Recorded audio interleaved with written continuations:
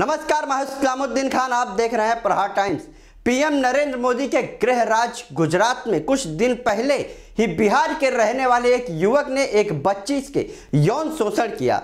ये मामला सामने आने के बाद गुजरात में हिंसा का माहौल हो गया। और गुजरात से गैर गुजरातियों को मार पीट कर भगाया जाने लगा।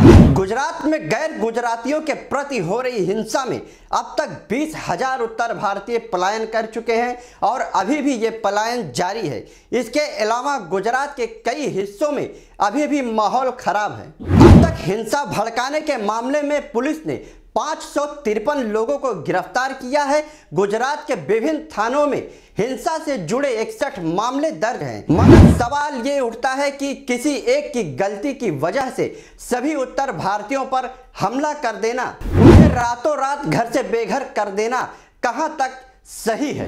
आज उन गुजरातियों को भी सोचने की ज़रूरत है।